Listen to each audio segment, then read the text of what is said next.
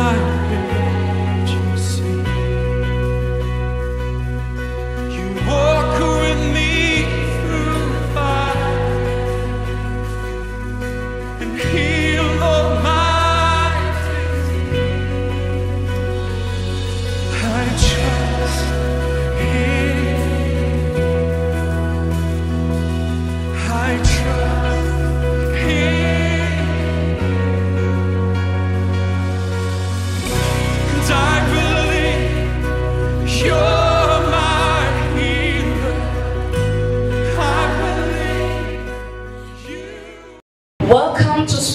Life Embassy Church. You're watching Prophet Prince Joshua Adjei as he proclaims God's will and reveals divine inspirational truth beyond expectation.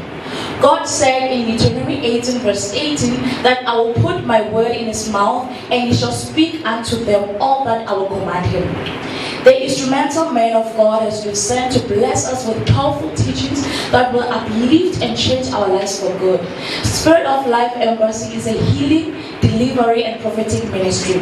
Please join us for more empowering testimonies and wonderful breakthroughs. Thursdays and Fridays from 6:30 p.m. to 8:30 p.m. and on Sunday from 9:30 a.m. to 12:30 p.m. You can find us at Rostec Technical College Main Hall on 378 Corner Pretoria Street and Detroit Street. For any specific prayer inquiries, you can reach us on 073 306 4125 or 084 Praise the Lord. Uh, thank you sir, for this opportunity. Um, before I came to this church, uh, I was having some problems in my relationship with God. I've been doing everything they told me to build my relationship with God, but it was not working.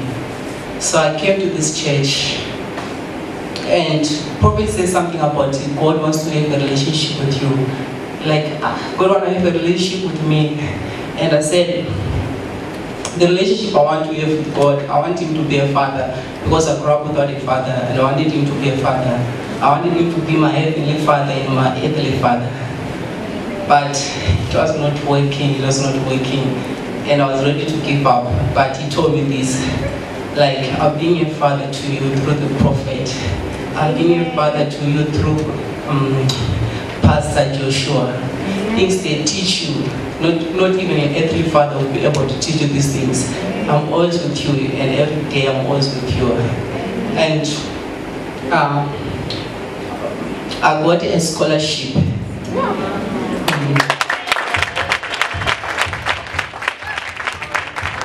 Tomorrow- Tomorrow I'm leaving, I'm going to Cyprus.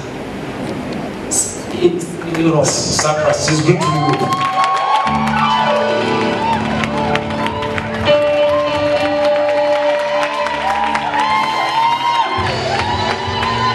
So it's good to you to Cyprus.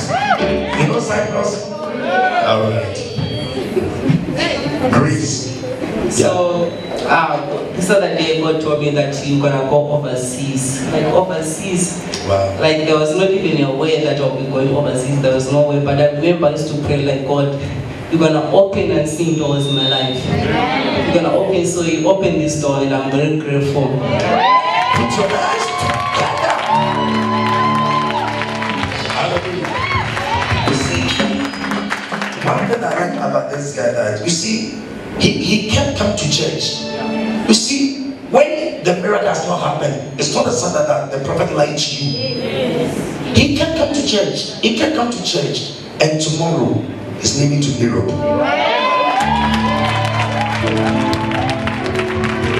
God bless you. Okay? As, uh, okay, let's Uh, this other day, I was coming from airfield to coming. I was coming to town, and something told me that I should drop off town. But I live near Bosman, so like, okay, let me just drop off in town. So I get in town, I was like, what am I doing here? Like you, I was telling myself, you are crazy these days. You are doing things now. You're, what are you doing in town? You're supposed to go home. And I, when I was walking, I met this my father here. Um, and he told, he asked me, oh, but how is the process about you going to suffer? Like uh, everything is not working because there's no money. He said, no, come to me, I'll help you for free.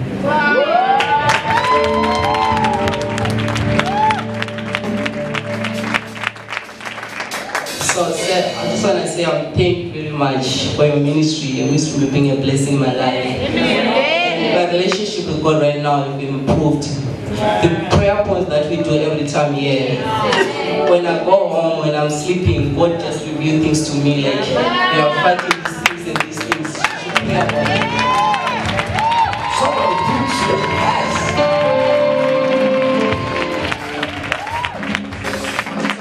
Thank you very much, sir. Amen. Okay, thank you, sir. So everybody put your hands together for the Lord Jesus.